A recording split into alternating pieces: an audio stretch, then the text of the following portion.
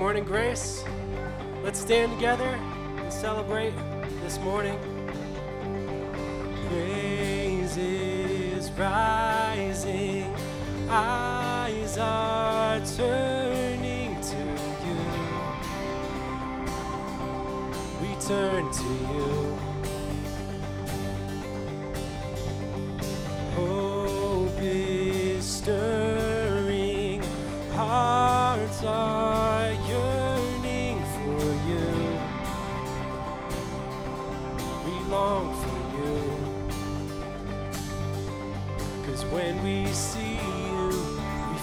strength to face the day.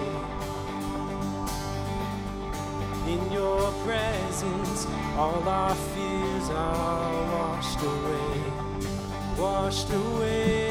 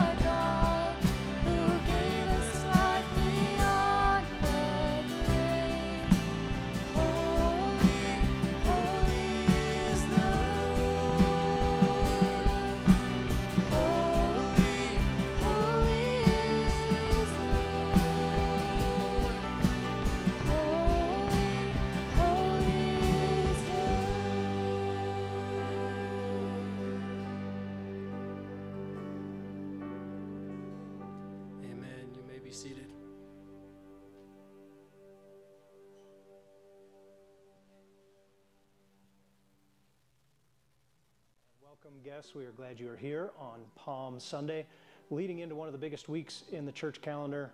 We are so glad you are here this morning. Tonight, Palm Sunday, 6 o'clock in the evening, you are welcome to join us and several other churches in the community as we gather right here in this room to celebrate what is coming this week. 6 o'clock right here. Join us. Later this week on Friday, Good Friday, we'll be gathering again 6 o'clock here to celebrate and remember what happened on the cross. Bring your family, your kids with you to celebrate and worship with us. And then join us this Sunday as we celebrate the resurrection of Jesus. To accommodate the large crowd we are expecting for Easter Sunday, we have added one additional service at 7:15. This will be a family service, which is our code for no child care will be provided. So bring your family and join the early service at 7:15. Our two normal services at 9 and 10:45 will have kids services as usual. This is the big Sunday that we all look forward to. So come join your church family and bring your friends as we celebrate the resurrection. Parents, if you have young kids and need a night out, and if you've got young kids, you do need a night out, plan ahead for Friday, April 19th. The youth group is having a fundraiser for their camp, and they'll be providing childcare for uh, Parents' Night Out. Your kids will have a blast with the youth group and their leaders, so bring your kids on April 19th for Parents' Night Out. That's all we have for announcements this week. Again, church and guests, we are so glad you are here. Continue to worship with us as we prepare our hearts for the coming week towards Easter. A lot of stuff going on this week, starting today, and it's really exciting to be a part of it. You know, we have, again, he said, we've got the prayer, community prayer tonight, and it's going to be a really special time to gather with other churches and just pray that God is going to move in a great way this Easter season. You know, we come expectant that He will do a great thing, and we know that He will. And um, so, yeah, we want to encourage you to come out to that and come out to our Good Friday service and be a really special time to reflect on the weight of Jesus going to the cross and what that means for us. And we don't get a lot of time usually to just pause and to reflect and think, like, wait, that wasn't just a normal thing. That wasn't just an easy thing for him to do. That cost him something. He physically died, went through um, just hardship and pain, and he did it for you. He did it for me. And so that's going to be a really awesome time for us to gather and to reflect on what he did for us. And so let's stand together and let's continue to sing these songs out to him.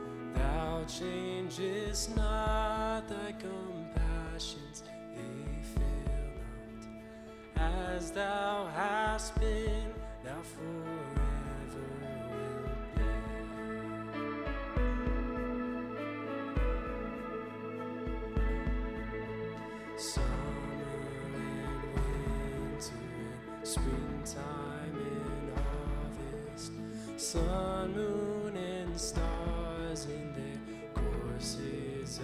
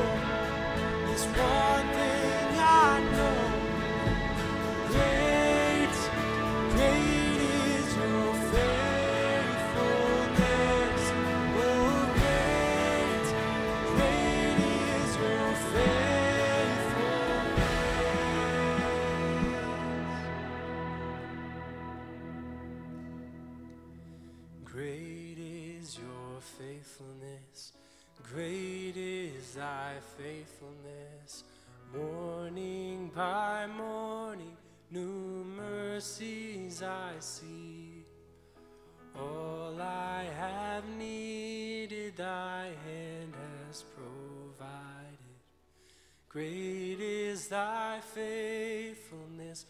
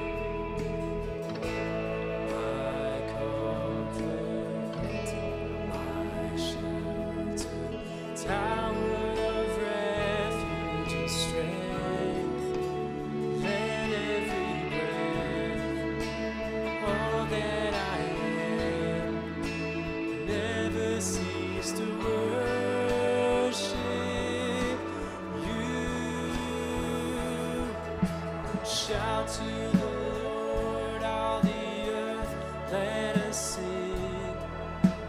Power and majesty, praise to the King. Mountains bow down and the seas will roar at the sound of your name. I sing for joy.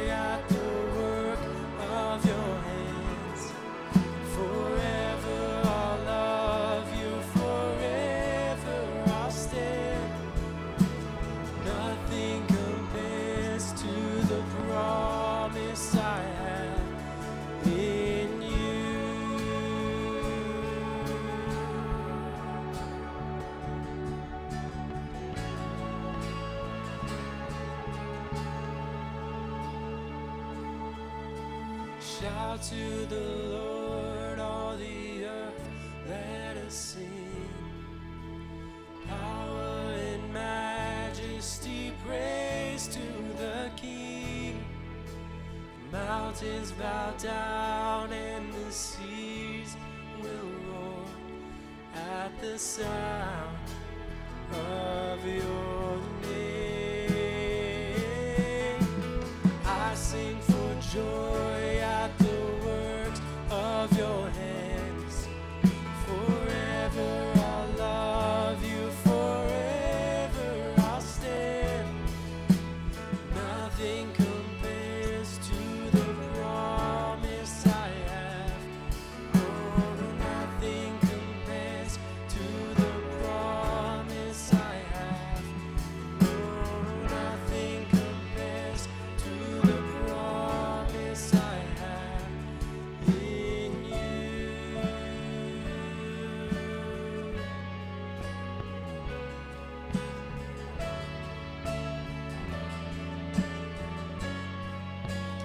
Death could not hold you. The veil tore before you. Silence the boast of sin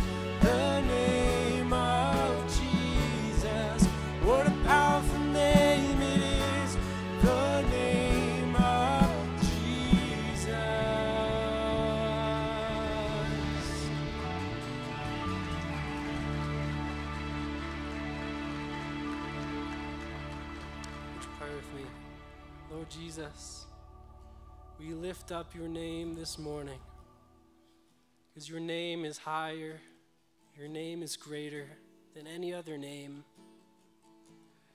And Lord, as we celebrate today, Palm Sunday, of you coming into Jerusalem, Lord, with a, a plan, a purpose that people didn't quite understand. They thought you were going to come and overthrow the government or do something crazy, but you did something even crazier by becoming the sacrificial lamb for us so that we can live for eternity with you, Jesus.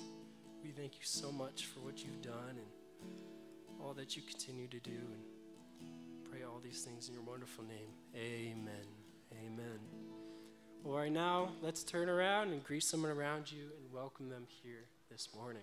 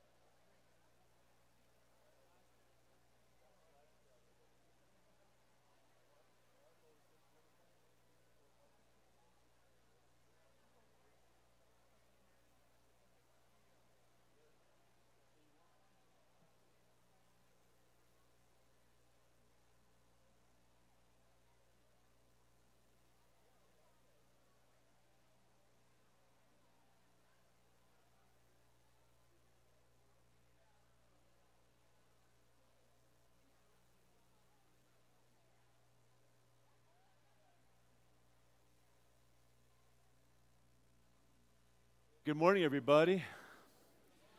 Happy spring day in Flagstaff. The snow and the palm trees just kind of colliding here, but uh, I love it. Isn't that gorgeous? Man, we get to look at it and not be distracted. How beautiful. Well, you guys, I'm so glad you're here. No holding you back on a spring, spring snow, but I'm glad you're here. Uh, we got a full week, huh? Uh, here's my tip. When you think about tonight at 6 o'clock, Friday at 6 o'clock, next Sunday, 7.15, don't choose one, right? Just come to all of them, all right? Don't say, well, honey, which one should we go to? That's the wrong question. Uh, the answer is come. We, we need you. So be a part tonight. Uh, we're hosting this prayer event. It goes on every year. Uh, there's five other pastors that I meet with on a regular basis. We have a great relationship. We pray together, encourage one another, um, share members back and forth occasionally, and uh, we're good friends. So we're gonna we're gonna uh, come tonight. We're we're hosting the event. So uh, I need you guys to be here and be good hosts. All right. and give them the good seats. Now you're saying, what are the good seats?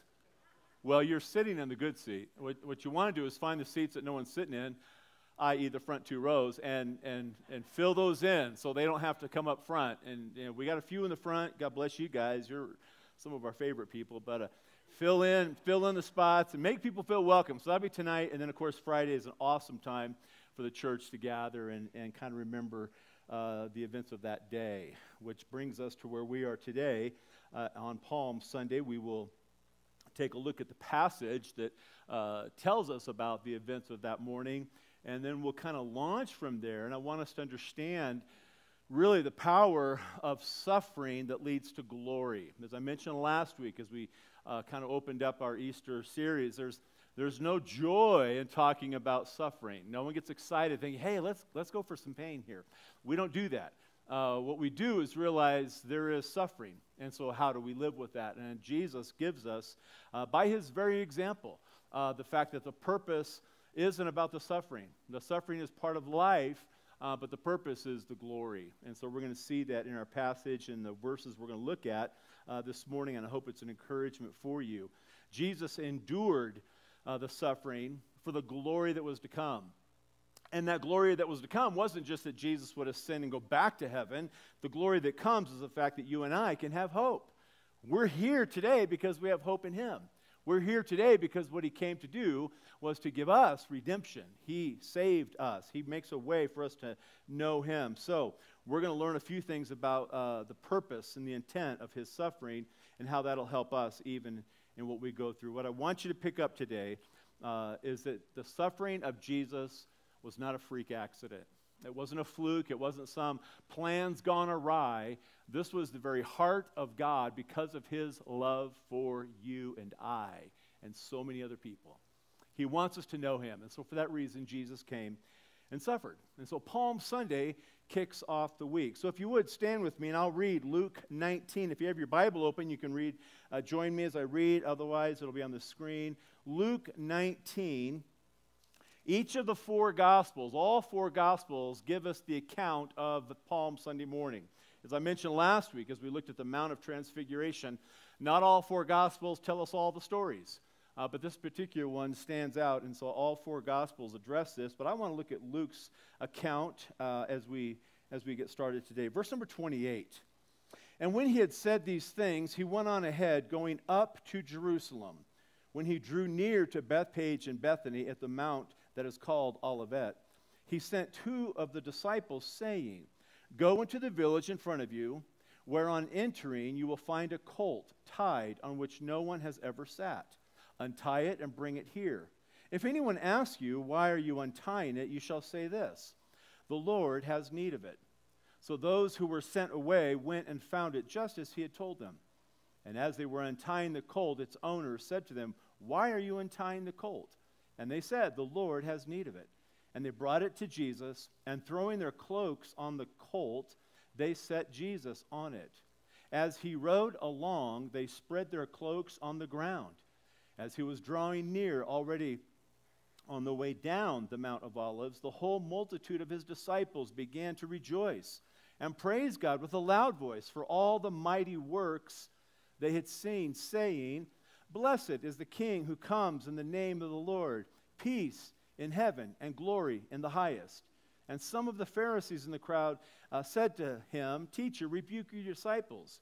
He answered, I tell you, if these were silent, the very stones would cry out.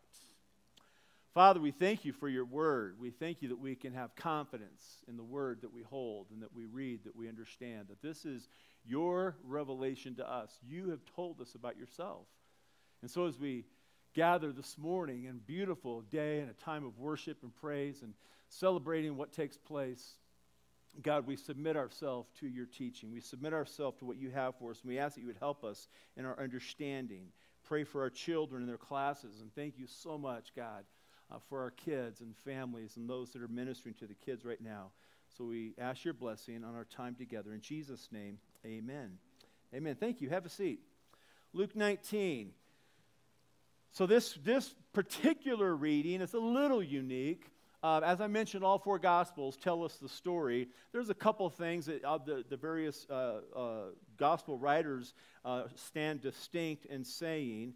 Um, what I like when I read this one, they praise God for the works they had seen. So when it says the disciples were there saying, praising God, Hosanna, uh, that doesn't mean just the 12. And I don't even know if it means just people that had already had confidence that he was who he said he was. I think the word disciple there could be understood in maybe its broadest sense, and that is followers. People that are like, there's something going on, come with me, let's follow. Uh, not necessarily people that were fully convinced or yet following him with faith. And so that's part of why that very crowd, and that's what makes today interesting, that very crowd will change their tone in just a few days. And you've heard us, we've talked about that every year. Perhaps you're familiar with the story. Jesus is going to weep towards the end of this time. There's a sadness that overcomes him as, he, as he's into Jerusalem because he realizes many of the people that are saying this, this uh, fulfilling scripture from Psalm 118 and Zechariah 9, many of them, uh, they don't know it. They don't, they don't mean it. There are some that do. There are some that are, as Travis mentioned a minute ago, maybe a little confused on why he was coming. But there are some that are just kind of following the crowd. And you know what? There's always people that are just following the crowd. And you may be a person like that, where you're just like, I just kind of do what everyone's doing, but I've never really thought about me. And Jesus has a heart for those, those that don't yet know him, those that need to understand why he's here. Jesus comes, and it's interesting, each of the four Gospels talk about the specific of the, of the colt. And uh, one says the, the mama, mama donkey came along too. And so uh, perhaps you see both of them, but Jesus is riding on this colt, one that's never been uh, ridden before. Um, and it's mentioned in all of them. I think it's because of the significance of fulfilling Scripture. Zechariah uh, 9 9 says, Rejoice greatly, O daughter of Zion. Shout aloud, O daughter of Jerusalem. Behold, your king is coming to you. Righteous and having salvation is he, humble and mounted on a donkey, on a colt, the foal of a donkey. And so Zechariah 9 is, is, is, is prophesying what's taking place here as a way of hope, as a way of looking forward, as a way of knowing that God is up to something uh, pretty significant. The cloaks, that's a weird word, right? Cloaks, that's your outer garment, that's your coat. Many of you have your cloak on the chair behind you or in front of you, or, or you would take off the outer garment. So they would take that, and, and the disciples actually made a saddle for Jesus on this brand new uh, colt that Jesus would ride on. And the others, as the multitude began to gather coming down from the Mount of Olives, they would throw their, their coats on the, on the ground. And some, some of the passages say there, was, there were people taking down branches of trees, which is why we have the palm trees. Uh, they didn't probably have our ponderosa pines there, uh, but they had some palms, and so they would take the palms. And this was a way that you would welcome a king. But the difference is a king wouldn't come in on a colt, right? A king would come on, come in on a large horse claiming victory. Jesus comes in a most different and unique way. And so there's a little confusion. Is he coming as king? Is this the time? Is this the moment when all that he's talked about for the three years with his disciples is like, finally, Israel's going to be a nation again. We're going to have uh, our king, we're going to have rule from Jerusalem. And Jesus is coming in the vein of that direction, but it's not then, right? So as he comes down the Mount of Olives, uh, a few of you have been to Israel. Uh, how many of you have been to Israel before? Raise your hand. All right. Uh, we've been a couple times. Uh, we're going again. I know there's, there's, it's not, we're not going today. Uh, there's bad stuff happening there, but we have actually reserved a spot for next year. I'm hesitant to talk about it because, well, things aren't good there. But when things are good, we'll, we'll let you know. Um, but when you go to Jerusalem and, and, and, you get to tour the area, you see that Mount, the Mount of Olives, and you're, you're looking at the eastern gate of Jerusalem. You see it from where you are. Uh, it's not that long of a walk, and Jesus is coming down that very mountain. Uh, probably not on the pavement that we walked down on it, but as he's coming down the Mount of Olives, the crowds begin to gather. So that as he enters Jerusalem, the people are there and they're, and they're crying out Hosanna, which is directly from uh, Psalm 118, 25 and 26. Save us, we pray, O Lord. O Lord, we pray, give us success, this, this prayer uh, of crying out for the, for the Messiah.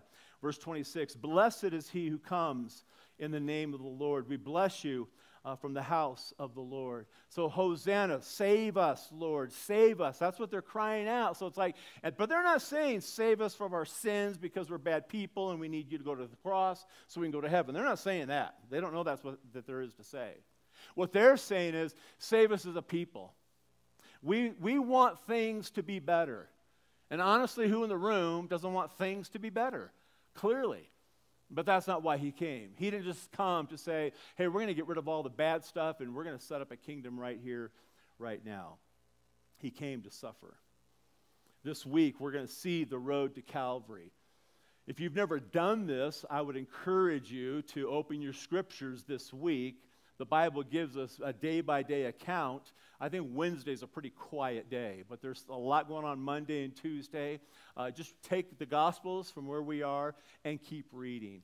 Uh, we use the Bible app for our sermon notes. If you go to the Bible app and type in Passion Week reading, uh, you'll come up with several options where every day you can read a little bit about what's going on that day. This week is the road to Calvary. So he will go to the cross for us. When we gather on Friday night, uh, it's a little bit of a solemnness, a little bit of a sense of, wow, he really did this. He really endured the cross for our sin. As we gather next Sunday, we, we celebrate. We celebrate that the cross doesn't win, the cross isn't the end. We celebrate the fact that Jesus has resurrected, which is, you and I, most of us know this. That's why we're here. But we celebrate next week with many people joining us. So as we take this road to Calvary and we, we remember what takes place during the week, uh, let's be mindful of those that need to hear it. Let's be mindful of so many people, perhaps people like the crowd, who were just saying what everyone's saying, not real sure, wait, he did something for me? And that's what we want to help people to understand. Jesus commissions believers for suffering. As this road to Calvary uh, plays out for us, we realize that this is going to be hard. He doesn't just walk in one day and they, he submits and he goes to a cross and it's kind of a weird scene. No, he's got a week of this, a lot of teaching. A big chunk of the Gospel of John takes place during this week. And as he gets close, and as, as you read the passages and the night of Passover, all of a sudden it, it turns pretty rough. And Jesus will endure stuff that, that we would want anyone to endure. And he does it for us. And that road of suffering, he's going to let us know has a purpose. And the purpose isn't suffering, the purpose is glory. And now he, we see he commissions us for a road, not to suffer because of sin, but to suffer and realize life is hard and there's glory ahead of us. Let's see what the New Testament says about this. So, Jesus, after his resurrection, he's going to ascend to heaven. Right before the ascension, he gathers the disciples together, and he, we have what we call the Great Commission. And he says, Go and make disciples of all nations, teaching them to observe all that I've commanded you, uh, and baptizing them in the name of the Father, Son, and Spirit. Lo, I am with you always. He sends them. So, I've come, I've done this, I'm getting ready to take off. Uh, but before I go, this is what you need to be doing. We see another commission given to us in the very beginning of Acts, Acts 1, uh, verse number 8. He says, All power is given to me. And he says, I'm going to give this to you. You're going to experience something when the Holy Spirit comes upon you to be my witnesses. And so he's sending them, and this is like moments before the ascension. Like they're in the place where it's going to go down, or go up, I should say. And as he's getting ready to go up, he says, uh, You will be filled with the Spirit to be witnesses for me. You'll receive this power, it will come upon you. And when that power comes upon you, you will be witnesses for me. Uh, many of you know the word witnesses there is not just, hey, go out and tell people once in a while when it's convenient, give them a little track. No, you will be martyrs for me, is the word witness. In other words, as he's talking to his disciples, he knows some of them uh, will soon taste death. All of them eventually will die a martyr's death. We read last week that James dies probably early in, in early parts of Acts.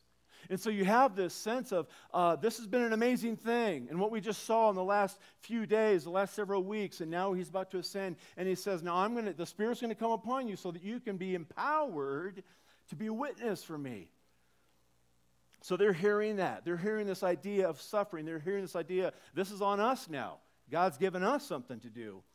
In Acts chapter 1, you have a, a, a powerful unfolding of this. We won't take time uh, now to dig in, but the overview is the first three verses. He's talking to uh, Theophilus. He's, you know, this is Luke, you know, part two, I guess some have said. Um, and then he talks about his past, and then verses four through eight, he's talking about the present. This is what's happening. This is where I'm going. Uh, power is coming. I want you to go tell other people. And then verses nine through 11, you have this future sense uh, when Jesus ascends and the disciples are there. And I don't know, what would you do if someone ascends right in front of you? I think you stand there with your mouth open for a second, like, what's going on here? The angels right then say, What are you doing? In other words, I think what the angels are saying is, Why are you still here? He said, Go. He said, Go and tell them, go to Jerusalem and wait for the Spirit. And so there's that sense of they have been empowered to tell, they've been empowered to proclaim. So Jesus commissions believers to proclaim. He, he, he lets us know there's suffering involved. It's going to be hard. You don't just walk around and say, hey, Jesus is awesome, you should follow him. And people say, yeah, let's do that. Uh, very seldom. Typically, it's got more challenges. So we see the commissioning for suffering, but we also see the very first sermon preached. So after Acts 1, now you go to chapter 2. And in Acts chapter 2, the Holy Spirit does, in fact, come. The disciples had gathered uh, with a large group and they're praying in the upper room, waiting as Jesus told them. And you have this uh, beautiful account in the first few verses of Acts, cha- Acts chapter 2. The Holy Spirit comes upon this group. And we have the manifestation, and you have the birth of the church. That is our roots. Our gathering here this morning is tied directly back to Acts chapter 2. Why? Because as you sit here and as we worship and gather together, the Holy Spirit is upon us. He's with us. He empowers us. And now we're under what Acts gives us the, the teaching, uh, the breaking of bread, the fellowship, the prayer. That's what we do. So in this first church, you have the very first sermon. You have the outbreak of tongues and the, and the image of fire, and the languages are spoken, and there's confusion, and people are saying, What's going on? Peter stands up. And as Peter stands up, he gives uh, the very first sermon of the church. I'm not going to give it all to you, but in verse 22 of Acts 2, he says to this large crowd, Men of Israel, hear these words. Jesus of Nazareth, a man attested to you, uh, shown to you that, uh, that you saw uh, by God with mighty works and wonders and signs that God did through him in your midst as you yourselves know. This Jesus, delivered up according to the definite plan and foreknowledge of God, you crucified and killed by the hands of lawless men. God raised him up, loosing the pangs of death because it was not possible for him to be held by it. Very first sermon. And he's looking to the crowd saying, This Jesus, you killed him. But don't think this is on you. The Father sent him. This is under the, what's he used the phrase, uh, the, the, the, the definite plan and foreknowledge of God. What does that mean? It means that God directed this. Jesus didn't show up and was the victim. Jesus showed up and presented himself because the Father sent him. And he knew full well, as we saw last week, he predicted, he told the disciples specifically about the cross and the resurrection. Notice he says that you saw him, you, you, you heard him. He was attested to you with mighty works, wonders, and signs. Can I just pause for a second and say, Church, let's never have dull eyes to the works of God. We talked last week about the glory of God, looking for the glory of God. Where do I see God's activity in my life? The mighty works, the signs even the miracles, God is faithfully still working through his church, through his people. And they had seen this, and they, they, they disputed it. They refused to accept it because they were threatened in their own religious insecurities. He makes it real clear the Father sent Jesus for this. The Father sent Jesus to suffer. And I guess when we think of this week and we think of Palm Sunday and the, and the crowds cheering him on, and, and we know it's going to be a weird week. We know it's, it's going to end on a cross. And we know that's going to take us to a resurrection. And we all, we get that and we celebrate. But for a moment, just think about the fact that the Father sent him for this. And I want you to know that because it matters for you. A, he sent him for you, and B, he sends you. He sends me. The Father sent Jesus to suffer. Acts chapter 3, the next chapter. We're not doing all the Acts, you know, don't worry. but in Acts chapter 3, uh, verse 17. And now, brothers, I know that you acted in ignorance, as did also your rulers, upon the crucifixion of Jesus. He talks to the Jewish people. Look, I know there was some ignorance here, as it was with your rulers, but what God foretold by the mouth of all the prophets that his Christ would suffer, he thus fulfilled. God said this was going to happen. This is God's intent. He thus fulfilled. He then, the very next verse, calls upon them to repent. In other words, God is doing His work. He allowed them to be a part. They're the ones that accused Jesus and put him on the cross, but it was for my sin, our sin. So the call then is for us to repent and to turn to Him. God has always been working. But yes, you guys are the ones that did it. You're the ones that killed him. Luke 22, in verse 21, but behold, the hand of him who betrays me is with me on the table. The last night, they're having Passover. We're going to celebrate uh, the Lord's Supper on Friday when we gather. We'll have communion together. Uh, in the life of Christ, that probably was on, was, was on Thursday night uh, when they were at the meal together.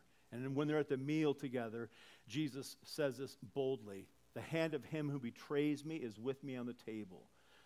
You know who he's speaking of, right? Brother, brother Judas. For the Son of Man goes as, as it has been determined, but woe to that man by whom he is betrayed. It's been determined that this is going to happen. Jesus knew the cross was in front of him. He knew the next few hours would be horrible. He knew that. That's why he came. But that doesn't excuse the one who will betray him. He makes it very clear. Woe to him. And they began to question one another which of them it could be who was going to do this. I want you to see the theme isn't suffering. Yes, there's suffering, and we see the consistency that God uses uh, the suffering of Jesus clearly that takes him to the cross. I want you to know the theme is redemption. The theme is the glory. The theme is what happens because of what he was willing to take on, and that is my sin and your sin the work and the grace of God at work in making a way for us to know Him. Romans 5 8, but God shows His love for us in that while we were still sinners, Christ died for us. He initiated that. This is the will of the Father. God sent Him.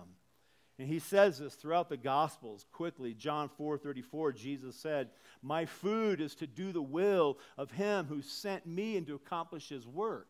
Why does this matter? You're thinking, well, we kind of know this, right? I want you to know that it's God who initiated your redemption. God comes to you. God comes for those that don't yet know him. He has come so we would know him. Jesus was responding to the will of the Father. John 5:30 I can do nothing on my own as I hear I judge and my judgment is just because I seek not my own but the will of him who sent me. Jesus continually says that. I'm here because of the Father. The Father has sent me in John 6 38. For I have come down from heaven, not to do my own will, but the will of him who sent me. In the midst of suffering, Jesus promises the Holy Spirit. How could he endure this suffering? Because he's God, yes. Though he was human, fully human and fully God, and there was this kenosis, this somewhat separation. He didn't, he didn't exercise all the heavenly uh, attributes that were of the Father when he was a man. He limited that. So there was real suffering. But he promises us the Holy Spirit so that we are not on our own. So when you're suffering, when you're going through something that's kind of hard and it's not really working out great, you're not alone if you know Christ. Doesn't mean it all goes away. It doesn't even make it feel better. It just gives you a confidence that as I go through this trial, as I endure this suffering, as I stand true to what I believe, I know God is good and the Spirit empowers us to be witnesses, testifying of who He is and His goodness. In John 14, and again, if you have your Bible or your digital, either way, flip over there. I want to read a passage for you. This is that night of Passover I talked about, uh, the last night before Jesus would be betrayed. Um, Judas will eventually leave the table and go get the Roman soldiers, and they'll meet Jesus in the garden.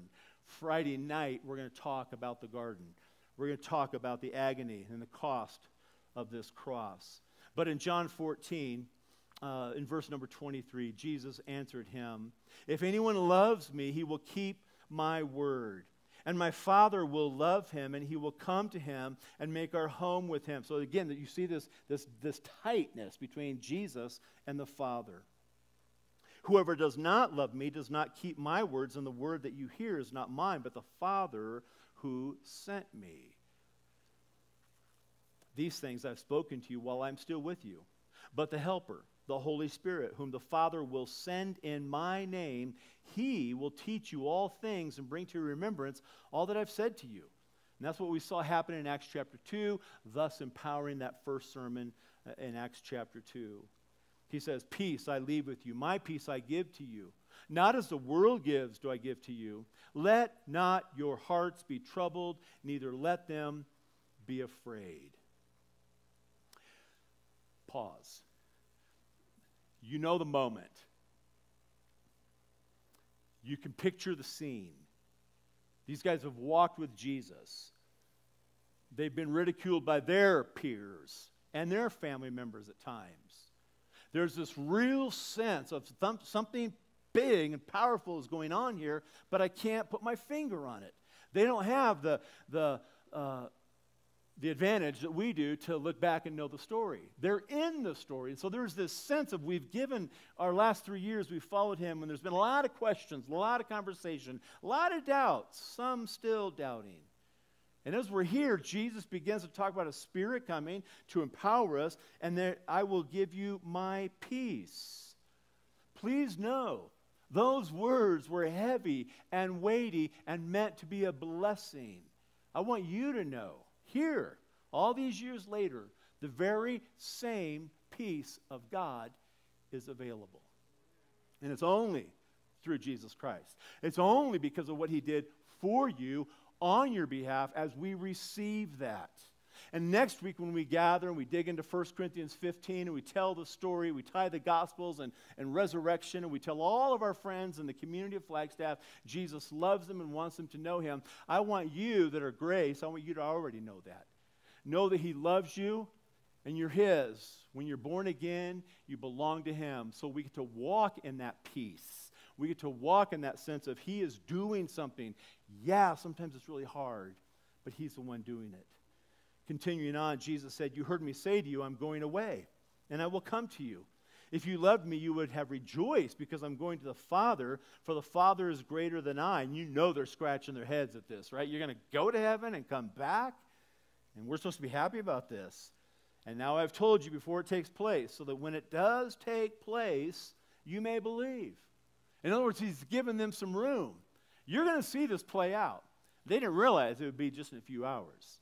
But as you see this play out in the next few days, you may believe. I will no longer talk much with you, for the ruler of this world is coming. He has no claim on me. But I do, and here's the point I do as the Father has commanded me, so that the world may know that I love the Father. Rise, let us go from here. And off they went to pray in the garden. This week, we remember the suffering we remember that Jesus, the Son of God, who, by the way, in case you forgot, was present at creation. The Father, Son, and the Spirit, uh, the, the co eternality of God, always been, always will be. At the beginning, they, they created, let us make man in our image. Jesus was there. That same Jesus is now talking about what's going to take place, and we're watching this, we're reading this. We remember the suffering, the rejection, the agony of the garden and the cost of the cross. Yes, it was, yet it was all of the Father's will so that you and I can both know of His grace and experience this redemption, but also so we could tell others. He's not done. He's done with His the, the, the, the payment, and He ascends and He empowers us, and He's given us this time. And this time is ticking away. We're going to dig into Revelation in a few weeks, and we're going to see there's an end to this time. But right now, we're here. We can know what He's done for us. We can rejoice and have the peace of God in suffering, but also He's given us that call to proclaim this to others. The gospel is not complicated, but it's difficult. It's not a mystery, but it's the greatest mystery. Why he would choose me. Why you? Why are you here? Right? Is there a little mystery to that? God, wow, thank you. The glory of the resurrection. We see this suffering has been the journey. We know the journey does, is not without suffering. The journey isn't without cost. What Jesus will endure, he does because of my sin and my rebellion and my nature. But we have the glory, the hope, the promise of this resurrection. In 1 Corinthians 15, uh, in verse 20, and next week I'm going to dig into the first part of the chapter for, for, for, the, for the clarity of our, of our guests. But in verse 20, Paul says, But in fact, Christ has been raised from the dead. Everybody say amen. Yeah. In fact, it kind of happened. He has been raised from the dead, the first fruits of those who have fallen asleep. For as by one man came death, who was that? Adam, thank you, out of Romans 5. Uh, but by a man has come also the resurrection of the dead, and that would be Jesus. For as in Adam all die, so also in Christ shall all be made alive. What a tight connection Paul is making from what he wrote in Romans 5, uh, verses 12 through 18. Here's what I want you to see suffering leads to glory. What Christ is going to endure that day, the Palm Sunday party, a little bit of a, a misunderstanding for a lot of people, but not for us. He didn't come on the big gallant horse busting through that gate. That day, by the way, is coming. When Jesus will come and he will go through that gate. Uh, when he went through the gate back then on this little colt and just kind of in this humble sense. And he's kind of brokenhearted as the people are saying, Hosanna, save us, save us. And he knows, yeah, you guys don't even know what's about to go down. But he did it. He's bringing us hope, he's giving us promise. Suffering leads to glory. The wages of sin is death. You got to get there. Someone's dying. I'm dying or he's dying. He died for me.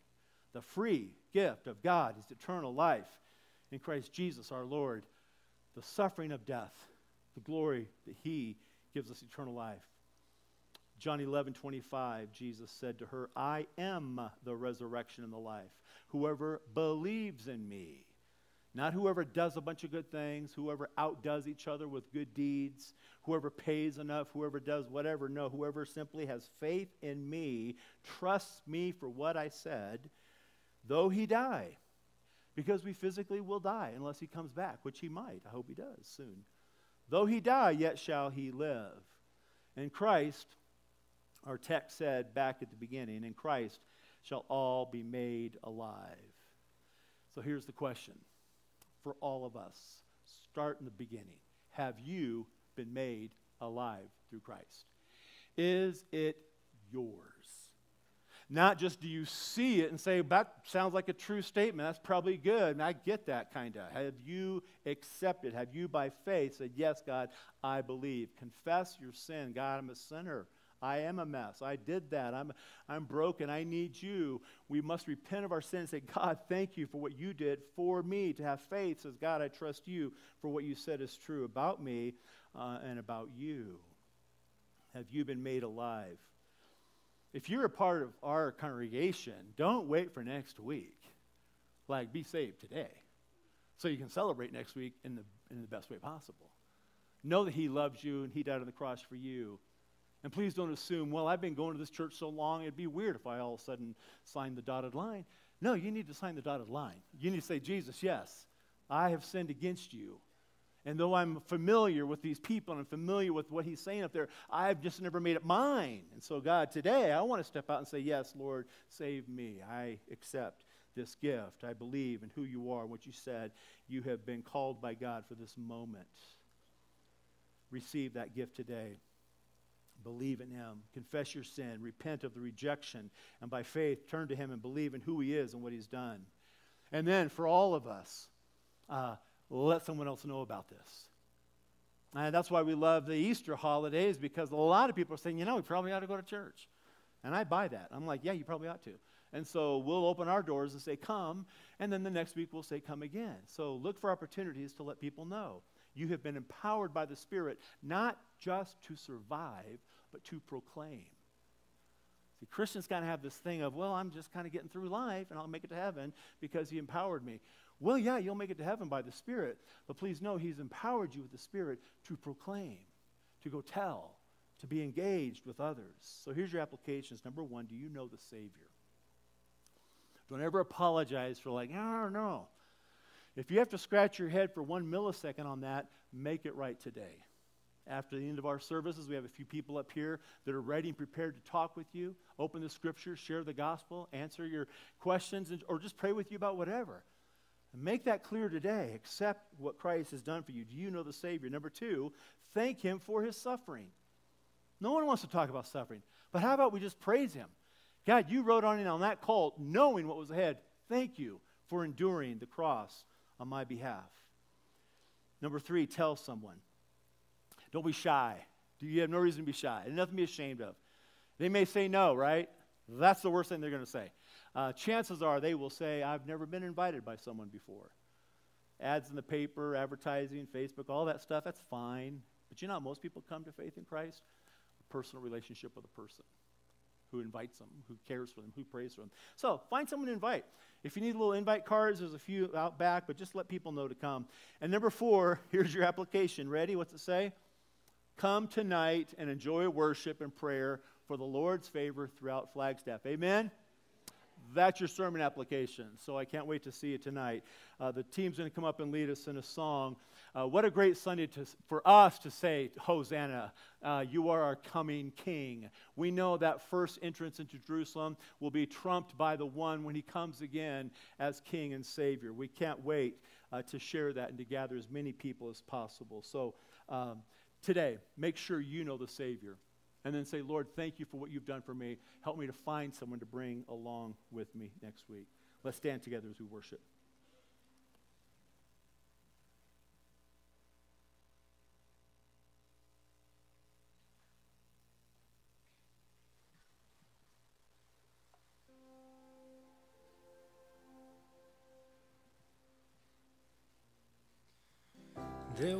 Was a moment when the lights went out, when death had claimed its victory. The King of love had given up his life, the darkest day in history. There on a cross they made for sinners. For every curse his blood atoned. One final breath and it was finished. But not the end we could have known. For the earth began to shake and the veil was torn. Sacrifice was made as the heavens roared?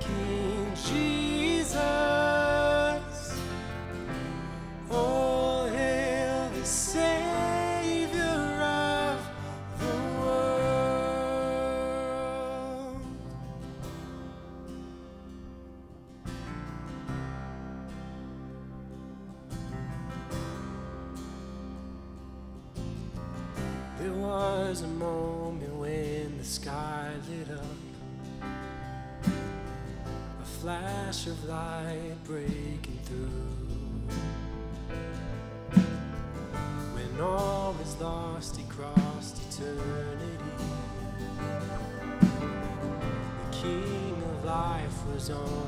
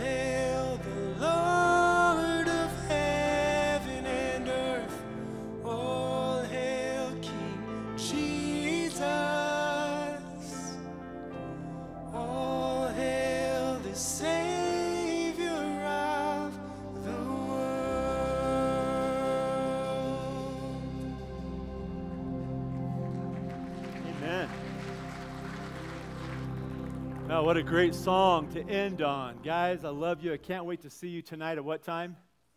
That's right. One of your assignments, 6 o'clock, and then again Friday. Uh, if you didn't know, there's a bake sale going on. Our, our, our, students are raising money to go to camp, and so go by and get something and be generous with how you pay for it. And I can't wait to see you tonight at. God bless you guys. Have a great week.